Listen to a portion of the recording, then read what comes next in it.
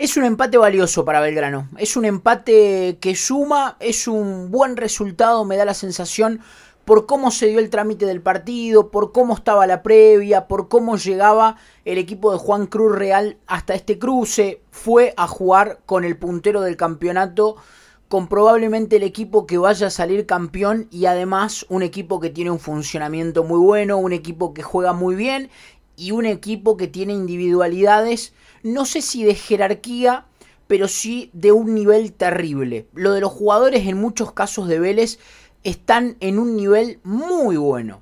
Están en su mejor momento muchos de los futbolistas. Vos en la previa te preguntabas cómo haces para parar a Aquino, probablemente el mejor eh, volante ofensivo en este año del fútbol argentino. ¿Cómo haces para parar a Brian Romero, uno de los goleadores del campeonato. ¿Cómo haces para parar la muy buena mitad de la cancha y el buen funcionamiento que tienen Chiqui Bausat y Ordóñez? ¿Cómo haces para que no te ataquen por los costados Piscini y Fernández? El pibe Tiago Fernández que tiene 20 años y es otro de los grandes proyectos, de las grandes joyas que tiene Vélez el último tiempo. Bueno, el primer tiempo la respuesta estuvo porque apareció Espínola. Espínola fue la, respuesta a la pregunta de cómo haces para parar en el primer tiempo a este Vélez. En el segundo tiempo no pudo, en el segundo tiempo eh, Vélez le tiró literalmente todo encima, todo, fue con todo. El técnico me parece que tuvo una, una viveza extraordinaria y terminó empatando el partido Vélez. La realidad es que los últimos minutos fueron absolutamente todo del equipo de Liniers. Si nos vamos a las estadísticas, nos vamos a dar cuenta de lo que fue. Hubo nueve tiros efectivos al arco de Vélez y hubo uno solo de Belgrano. Hubo 25 intentos al arco por parte de Vélez y tan solo cuatro de Belgrano. En esto se tradujo el partido de hoy, pero que por momentos a mí me da la sensación que Belgrano lo jugó de manera inteligente, no podía equiparar el funcionamiento de Vélez. Juan Cruz Real no podía equiparar ni siquiera los niveles futbolísticos. Había mucha diferencia en la previa entre Belgrano y Vélez. Como les digo, Vélez llega de ser puntero del campeonato, semifinalista de Copa Argentina, viene de jugar a principio de año la final de la Copa de la Liga. Es un equipo que tiene un funcionamiento extraordinario. Vos por momento te sentabas, veías a Vélez y decías, sea lo que juega, sé lo que intenta, sé lo que propone. La diferencia saben que para mí hoy estuvo en el banco de los suplentes, pero no por los cambios, sino por el técnico. Vélez tiene un técnico que logró hacer jugar de una manera muy vistosa a su equipo y que potenció muchos futbolistas, porque este Piscini que vemos en Vélez, el Brian Romero que vemos en Vélez y hasta el propio Aquino que vemos en Vélez en otros equipos no tenían este nivel superlativo. Inclusive el propio Mamana, que fue a River y no le dio ni siquiera para estar rotando dentro del banco de los suplentes.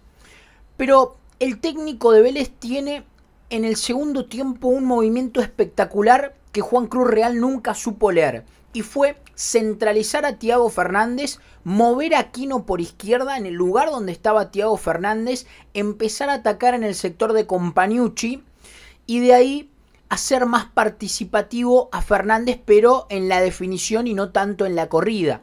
Porque no le estaba saliendo la planificación de lo busco a Fernández por izquierda para que desborde, llegue hasta el fondo, tire el centro y aparezca Brian Romero. Porque Companiucci lo marcaba muy de cerca, porque por ese sector se le tiraba a González Metili y nunca lo dejaban libre. Entonces, ponelo a Aquino.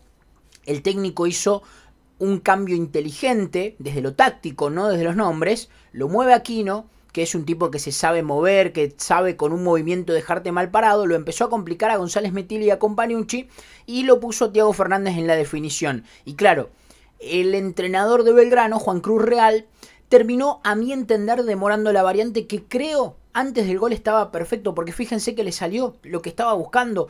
Me van a decir que tuvo poco timing, que tuvo mala suerte. El cambio creo que se estaba por venir previo al 1 a 1 de Vélez. Pero creo que si Real hacía ese cambio que fue sacar a Ubita Fernández en el 1 a 0 mientras iba ganando, armar esa línea de bloque defensivo en la mitad de la cancha mucho más nutrida, porque saca un delantero y mete un mediocampista, ese es el cambio, lo saca a Ubita Fernández y lo pone a Quiñón.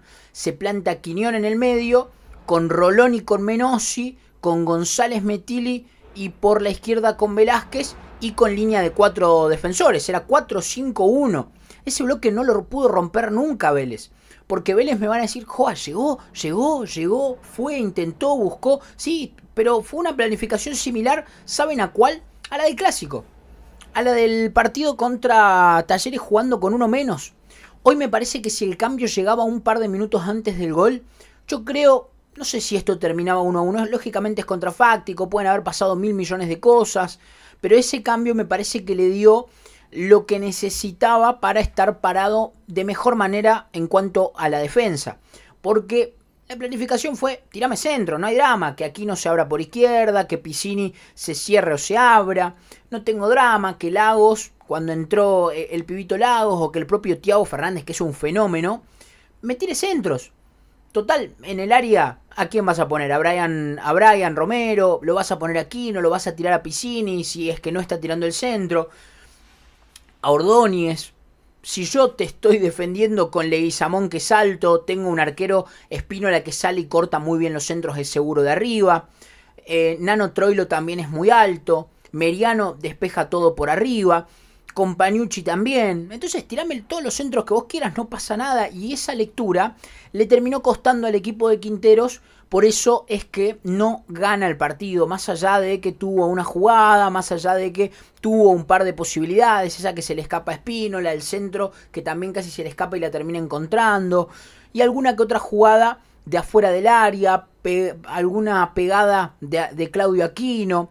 Ahora, yo también les puedo decir, bueno, pero si entraba la, la, de Francisco González Metili en el primer tiempo, esa que le mete un zurdazo, pega en el palo, primero en el palo izquierdo y después en el palo derecho, yo creo que del 2 a 0 no sé si Vélez se recuperaba, porque de hecho no pudo hacerle el 2 a 1 con 45 minutos por delante y una lógica que es Belgrano retrasado completamente esperando y jugando de contra. El tema es que, claro, la contra para Belgrano se le empezó a complicar porque de repente era pelotazo para Jara, Jara intentando bancar la pelota y hasta que llegaba Velázquez, que había hecho un desgaste terrible, porque Velázquez es un jugadorazo, además Velázquez entiende el concepto de lo que es jugar para el equipo y no eh, pensar primero en el futbolista. De hecho, creo que Velázquez en este conflicto que hay entre Reina Real Debería sentarse Velázquez a charlar, a explicarle tanto a Reina como a Real por qué se tiene que jugar y punto.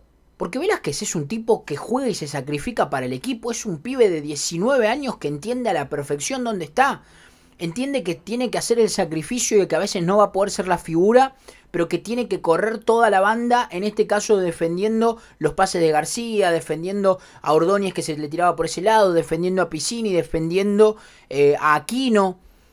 Y lo entiende y corre y no se queja y no dice nada. Eso debería explicarle por ahí Velázquez eh, a Reina y a Real. Che, el club por encima. Belgrano por encima. Acá no es que Reina va a jugar para ser la figura o que Real va a dirigir para él ser el técnico por encima del club. Belgrano, Belgrano, Belgrano y después el resto.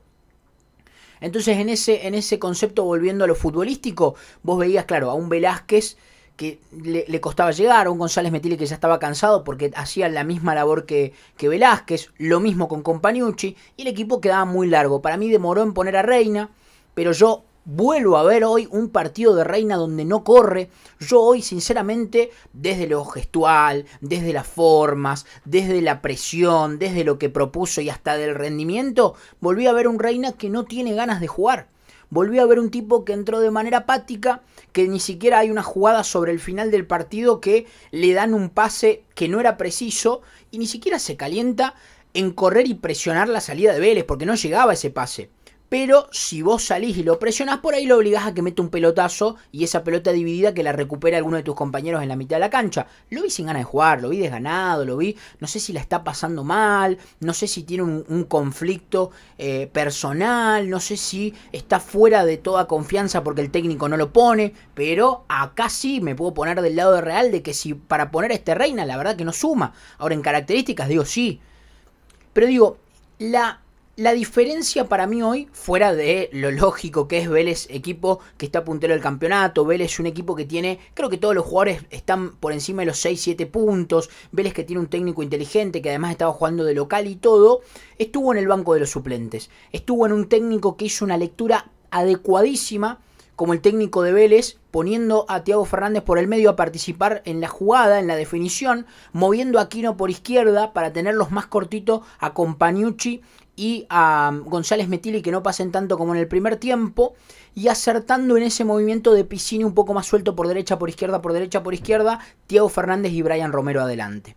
Mientras que Real, a mi entender, demoró un poco con el cambio de sacar a Ubita, poner un mediocampista más y armar un bloque de 4-5-1, que fue como se terminó defendiendo Belgrano, que fue una planificación similar y de la manera en la que lo ejecutó al partido contra Talleres, cuidar hacia atrás, defender cerca del arco y jugar de contra. Y bueno, después con las herramientas que tenía, lo pone a Chavarría, que por ejemplo, claro, acá podemos comparar Reina, Chavarría, Chavarría, Reina.